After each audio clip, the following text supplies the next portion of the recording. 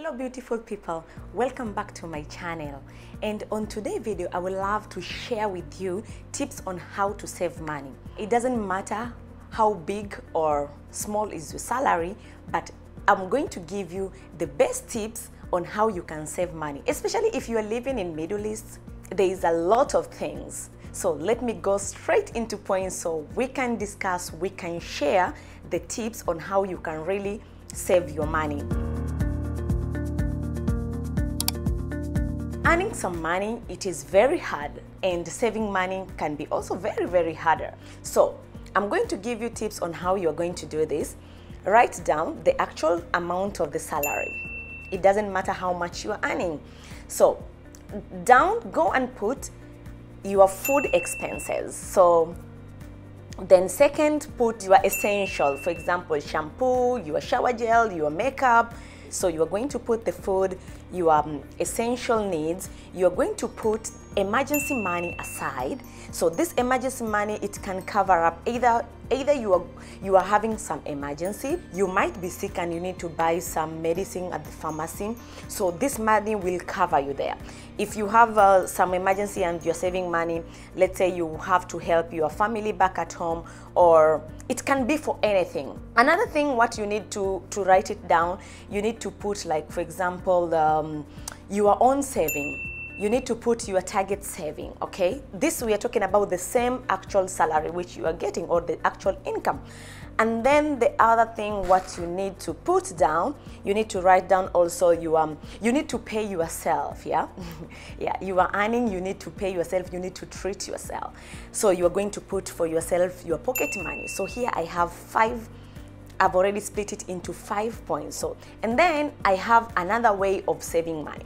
I always love to stay with some Kenya shillings so that I don't get tempted to use this money no matter what.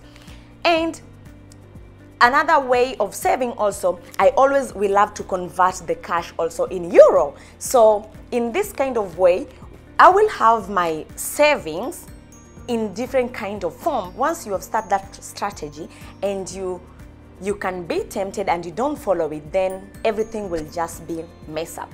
You really need to follow your budget. If you are going to the mall, you need to write down, even when you're going to buy food, prepare your meal weekly.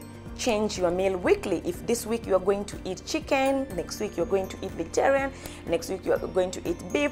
So research first what are your expenses or what do you like to eat? And then you write it down so it will be easy for you to go and shop.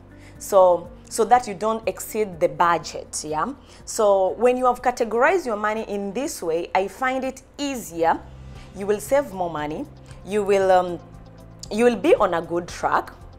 You will never lack money because you, you will because why you will never lack money you will not go for things which you don't need. You will make your target because you will focus what else you need. Here it's whereby you will not spend your money unnecessary but you will spend your money wisely.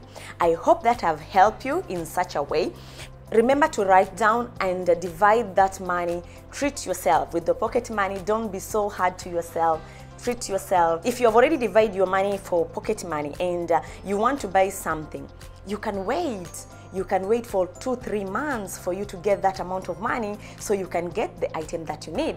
And uh, for my fellow Kenyans, let's say, for example, you are here and another thing that you can add for that number five, for it to be number six, you can start to, to think of while you are working here to put some money for your pension especially when you are around about to turn 30 i think it's good time to start saving little by little because we're in the, in the country where it's not like a must for you to pay. So you are sorting yourself you have your medical insurance you have to pay. So if you're back home you just have to look on things like this. You have to to check like for your future.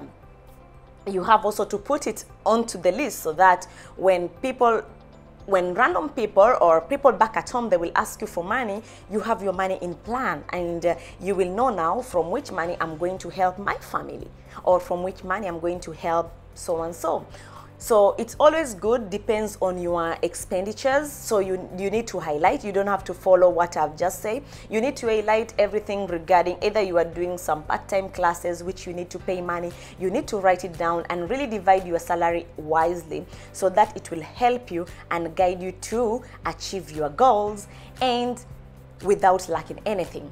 You can work hard, you can enjoy good meal, you can enjoy going outside so that you will not be in a beautiful country like Qatar and then you work here for let's say two, three years.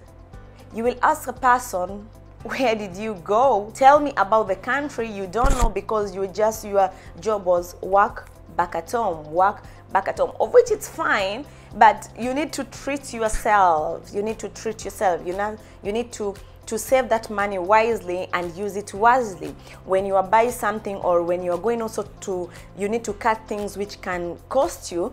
Yeah, you, you might go for parties and this, this will cost, will cost you a lot of money for just a short period of time and then it will cost you a lot of hard work to save back that amount of money.